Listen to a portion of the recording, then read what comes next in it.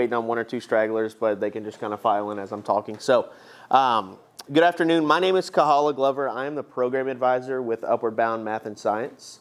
So, I'm going to be talking to you today about what Upward Bound Math and Science is, what can it do for me, what can I expect out of it, uh, why is it such a great program, how do I qualify, things like that. So, do you mind to go ahead and go through? So, uh, Upward Bound Math and Science, or UBMS Basics. So this is just a general rundown of the program. We are a federal Department of Education grant program, and we aim to prepare eligible high school students for high school, college, and career success. So I work just down the road at ECTC, uh, but that does not mean that I'm a recruiter for ECTC. Part of the grant means that we have to have a space to work, and because ECTC is a KCTCS school, um, they are funded by the state, and therefore the Department of Education. So we kind of work in conjunction with one another. But I'm not a recruiter for them. I'm not going to sway you to attend ECTC after you graduate high school. If you want to attend ECTC, I can certainly help you navigate that process um, and look at getting scheduled for classes and things like that. But I'm not going to recruit you to attend, okay? Because we are math and science based, we are STEM focused, but you don't have to be a STEM student if you want to go ahead and go be part of this program, okay? And we're looking for students that are eager to learn more about a post-secondary education or career in a STEM field. I think all of you all in here are juniors, is what Mr. Robbins said. Is that correct? Anybody that's not a junior in here, just raise your hand. Okay, cool. How many of you in here are planning on going to college after you graduate? Awesome, awesome. So, um, and we can talk about that a little bit more later. So, just keep in mind, all of the activities and transportation and meals that I talk about today when I'm telling you about Upward Bound Math and Science totally free to you all. They don't cost you anything. Uh, those are provided to you just for being part of Upward Bound Math and Science, okay? And it all starts with study help on your own campus, which I'll talk about in a little bit. Thank you. So, the big stuff. At its most fundamental basic building block, UBMS prepares you for college. We provide tutoring, exposure to professionals in STEM fields, cultural excursions, college visits, ACT prep, FAFSA assistance, financial literacy and financial education, and so much more, and all of those are free. Um, not only that, but you can earn money just by being part of our program. So during the academic year, while you guys are in classes, you can earn up to $40 a month by participating in weekly activities, Saturday academies that happen once a month, and I'll talk about that later, and maintain a minimum GPA of 2.0. During our summer academy, which I'll also talk about later, you can earn up to $15 a week. So it's a little bit extra way to line your pockets a little bit of extra money both during the academic year and the summer, okay? The Summer Academy is a six-week program that offers additional in-depth educational opportunities, and that is partnered with our Summer Bridge. So our Summer Academy is for students that are getting ready to be a freshman in high school or students that are getting ready to be a senior in high school. Okay, so it's offered to everybody within that range. Our Summer Bridge it's offered to graduated seniors that are getting ready to be a freshman in college. And those graduated seniors can take two credit-bearing transferable classes for absolutely free, no charge. They'll just take them during the course of our six-week program, okay? At the end of our summer academy and our summer bridge, we will take an all expenses paid trip um, at the end of that, like I said, so after five weeks, that last week that we are in that summer academy and summer bridge, we will take a summer trip to somewhere to focus a little bit more on STEM. So this year, we're planning on taking students to Universal Studios down in Florida. So we'll leave on Monday, we'll come back on Friday.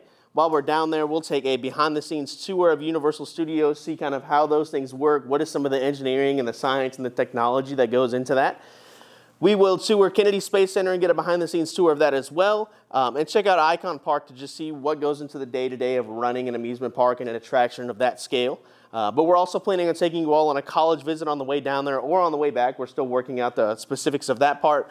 Um, and then we'll take a day to go and check out the beach and just relax and have a little bit, of fun. So, um, but remember, this is totally paid for. So just by being part of our program, showing up for the summer trip, um, so showing up for the summer program, I'm sorry, um, you will qualify to be able to go on the summer trip just by showing up every day, making sure that you're taking care of it in those classrooms that we're going to talk about a little bit later. Okay?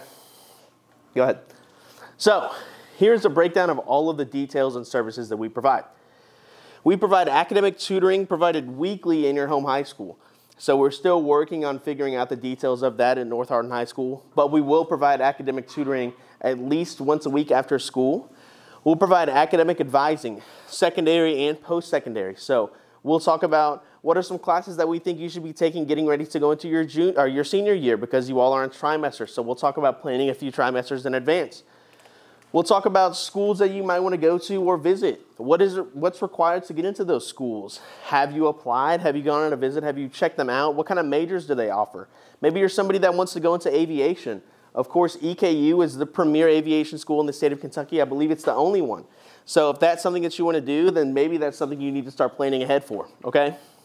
We'll talk about ACT and SAT prep. I know you all just took the ACT at the beginning of the month um, as part of your statewide testing. But of course, some of you may have gotten your scores back already and you're a little unsatisfied and you want to go ahead and retake that ACT again. We can provide some services to help you be a little bit more prepared um, and have some more tools at your disposal for that, okay?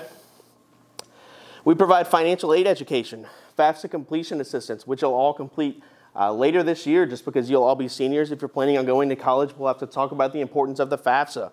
Why is that so important? Why do I need to complete it? School reentry assistance, college searching and application assistance, how to go about finding a college that suits your needs and what you want to do, and how to fill out that application. Financial literacy education, opportunities to learn from and engage with not only professionals in STEM fields, but also college students in those STEM fields. So that way you can see what that culture is like in that field and in that field of study, and you can begin to understand a little bit of what's required in that and how much they enjoy it and how much they've learned from it and what are some of the tricks and trades um, that they've kind of learned being in that field, okay? Summer instruction, exposure to cultural, cultural events, career exploration, and some field trips. So all of these services are totally free. They don't cost you all anything. Just by being part of our program, you will qualify to receive these, okay? Go for it. So, academic year activities. This takes place while you're in your classes at North Hardin High School or here at the Academy at EC3. Um, but this is just a breakdown of some of the academic year activities that we have.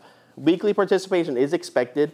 We're not asking you to give us a ton of your time every week, normally right around an hour between one to two, um, but sometimes it will take a little, even less than that, okay? After school tutoring at your home high school will be the main focal point for these academic year activities. Uh, and we're looking into a poss possible alternative virtual option. Uh, we're just still trying to work out a little bit of that in terms of details and who we're going to work with and partner with for that. But we're going to focus on study skills, academic enrichment, virtual job shadowing and career awareness. So we're looking into a program right now and, and, and active talks with them to get set up with a place that'll let you kind of look at all of the jobs that can be offered within a 60 mile radius or however many mile radius is within you and those openings and what those require and what the job looks like on from day to day. Um, what kind of education is required for that? What kind of experience? Things like that.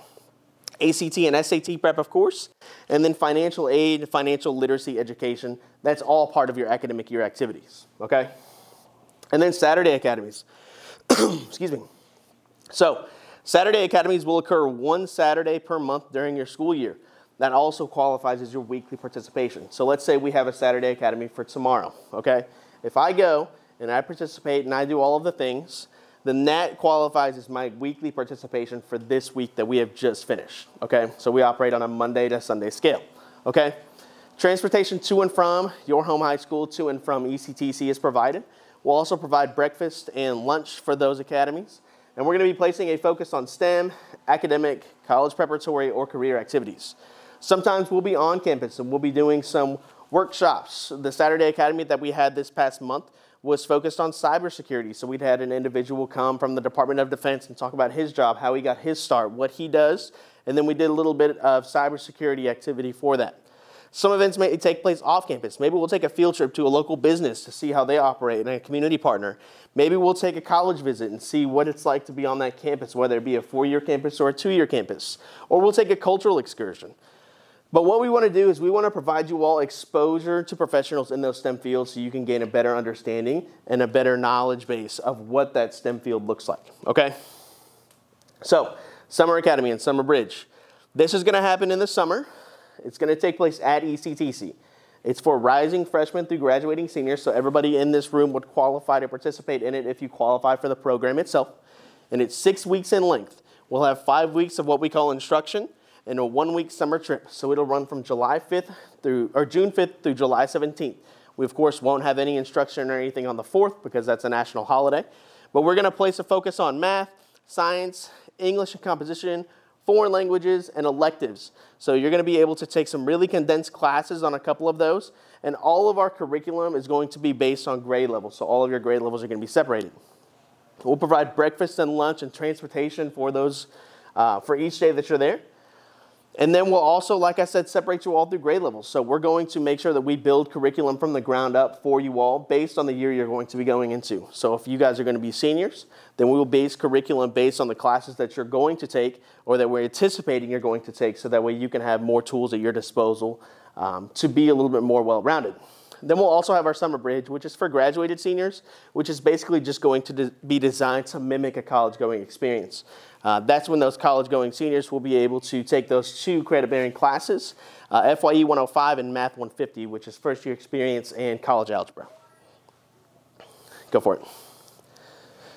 So uh, here's a list of some of the UBMS programs across the USA.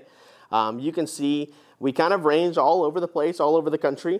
But some of the notable places that we have are Murray State, uh, Shawnee State, Boston University, University of Tennessee in Chattanooga, University of Pennsylvania, uh, which is a, an Ivy League school, Marquette University, Morehouse College, UCLA. So the reach of UBMS is very real. It's a very legitimate program funded by the Department of Education. Um, and what we want to do is we want to help first generation students be more prepared for college. So it's a legit program. It has a wide reach and it helps a lot of students. So this is an awesome program I wish that I had access to whenever I was in high school. Okay, go for it. So let's talk about eligibility. In order to participate, students have to meet one of the following criteria. Either be a first generation college student, meaning neither your parents nor legal guardians have earned a four-year bachelor's degree. If they've earned a two-year degree, or if they have a ton of um, you know, certifications and they have every certification in the book to let them be really great, but they don't have that four-year bachelor's degree, um, then you totally count as a first-generation college student in the eyes of the Department of Education, okay? Or be considered low income based on federal income guidelines. Those change every year, so we'll take a look at your all's um, taxable income for your family, and that will be what we use to determine those. So um, this is available for rising freshmen through seniors, and if you're not sure if you meet one or both of these requirements, please see me. I have an application that you can fill out. It's two pages front and back, super easy to fill out, and we can determine your eligibility for that, okay? But this UBMS program specifically is funded to serve 60 students from five different high schools, okay? LaRue County, Nelson County, North Hardin, Thomas Nelson, and Washington County. So that means we have about 12 to 13 spots uh, per school that we can help students from. So um, I know North Hardin has been really active in terms of getting applications turned into us, but spots are already limited for a lot of our schools. So make sure if this is a program you're interested in, fill out an application, come see me after we're done. I'll talk about ways that we can get you into the program uh, because like I said, spots are starting to fill up, okay? And then parents or legal guardian consent is required um, to participate. You guys are going to be sharing some confidential information with us. Your schools are just going to be sharing some information about your ACT scores, your GPA, things like that. So your parent sign off is going to be required because you all are still considered minors, okay? If you think it's going to be an issue, just let me know and we can talk about that, okay? So the application process, pretty simple, pretty standard. Um, complete our UBMS program application. I have a shortened version of our program application up here in the front that you all can take with you. Um, it, you can be paper, it can be electronic. There's a QR code on the front of it, so if you want to scan it with your phone and fill it out um, over the phone, then you can do that, okay? But this has to have all items complete with signatures of parents or legal guardians. So once you fill out this shortened application and if you qualify to be part of our program, then I'll give you some more information, some more forms that you'll have to have your parents fill out, okay? After that, you'll meet with me. We'll discuss your academic and career goals. We'll set some goals for you and how we can start reaching those. And then start attending weekly activities and Saturday academies. Excuse me. That's going to be how you go about earning those monthly stipends, whether that be that $40 a month during the academic year or that $15 a week during the summer academy. Uh, but the best way to stay up to date with us is follow us on social medias. So you can find us at ectc.ubms on Instagram or ectcubms on Facebook. Okay, those are the two big ones that we use. But it's important to remember, this program requires a commitment on your part. Once you join us, we track you until you graduate just to make sure that you're maintaining the appropriate GPA and participate in weekly and summer activities. Uh, but we also understand that a lot of you all are really involved in uh, school sanctioned extracurriculars. Maybe you're involved in a lot of sports. Maybe you're involved in a lot of clubs. Maybe you help out and volunteer in the community. And that's great. We want you to be super involved. We want you to be super well rounded. And so those, those school approved, uh, school sanctioned extracurricular activities, those absences are permitted with us. You just got to let us know. Uh, communicate with us. We're pretty amicable, pretty flexible on, on that. So just make sure that if you know that you're going to be missing, get in contact with me, get in contact with Melinda Dye. That way we can talk about what are some, what's some information that you're going to be missing, what is some content that you might be missing out on, and how can we get that to you. Okay? So here's some information on us if you have more questions about us. Um, I don't have any cards with me, so if you want to get your phone out and take a picture of this, please go ahead and do so. Um, that way, if you have any questions, your parents have any questions, or maybe you just want a refresher on what UBMS is, uh, you can do that, okay? Our office phones are up here, but the best way to reach us is always to just go ahead and send us an email. That way we can have a copy of that. And I'm out of the office a lot because I travel to all of our different high schools. So the best way to reach me is 100% through email, okay? I'm pretty good about checking my email if I'm not in a presentation from the hours of 8 to 4.30 every day during the week. So if you send me an email, you can expect to hear back with me within the next couple hours, okay? So our socials are also over here. And then over here on the tables, I've put a couple of different things, just some informational stuff for you, as well as a shortened eligibility application. So if that interests you, please take one with you as you head out the door. Uh, we have some rack cards that detail either our summer academy or just the program in general. They give you a little bit more information. And then they also have a QR code on the back you can scan to get to our socials, our actual full-length application that you can fill out, things like that, okay? Any questions? I know I just threw a ton of information at you all. So does anybody have any questions about what is Upward Bound? How can I apply? Anything like that? Why is it specifically like North Hardin and Thomas Nelson? Good question. So he asked, why is it specifically those high schools that we serve? So when we were writing the grant, we had to do research on the schools that are surrounding us within a drivable distance to make sure that those schools were actually schools that needed the assistance. We identified North Hardin, Thomas Nelson, Nelson County High School as schools that didn't have the college preparatory stuff that maybe other surrounding high schools had. So that puts you all and your students at a disadvantage in terms of being more prepared for college. I graduated from North Hardin High School like eight years ago, so I understand that while there are more resources now than ever before, um, there are still less resources at North Hardin High School in terms of college readiness than there are at other schools like maybe Elizabethtown High School or Central Hardin High School or things like that. So we want to make sure that we're helping you all be a little bit more ready for that. Okay? Thank you. What is a day in summer going to look like? Do what? A day in summer. So a day in the summer academy will typically look like you showing up um, you guys will normally leave North Hardin High School around 8. Um, get to ECTC around 8.30, 8.45. Eat breakfast. We'll provide breakfast every day. After that, you'll sit through a couple of different shortened classes uh, that are taught by our summer instructors. You won't be necessarily like graded on them, like the grades won't affect your GPAs, uh, but you will receive some type of grade on them. And then after that, we'll take a short break for lunch. And then in the afternoon, we'll either do a workshop activity. You guys will work on a research project that you'll get to choose and talk with us about and then present to us. Or we'll take a field trip, go check out a college, go check out a local business, things like that. Okay? And normally we'll run from like 9 to like 3.30 or so. Um, so that's normally what a normal day will look like, and that's Monday through Thursday. And then on Fridays, during those five weeks of summer instruction, we'll always be taking a field trip to somewhere. So we'll go somewhere like Kentucky Kingdom, the Kentucky Speed uh, Museum of Arts, We'll go look at the Kentucky Science Center, and then we'll also go take some college visits and stuff like that. Okay? Anything else? All right, well, I appreciate you all coming and listening. Please make sure that you take some materials on your way out the door. If